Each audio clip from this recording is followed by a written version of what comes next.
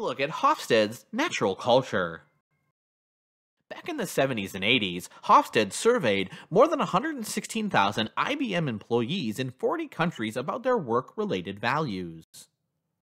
He identified five cultural dimensions on a continuum in which employees differ.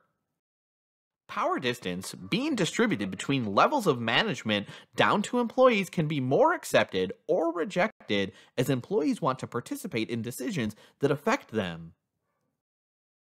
Individualist cultures believe that individuals should be self sufficient with loyalty themselves first and the group or company second, whereas collectivism ensures that groups place the company first.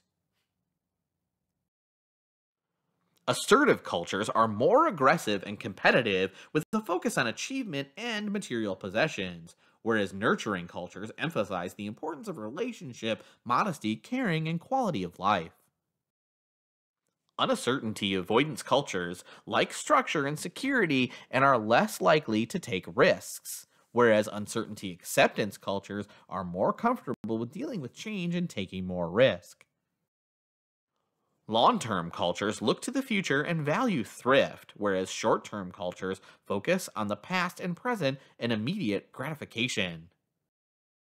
As Hofstede researchers became dated, Globe confirmed his dimensions and are still valid today. His five dimensions were extended and expanded into nine, including hundreds of companies and more countries.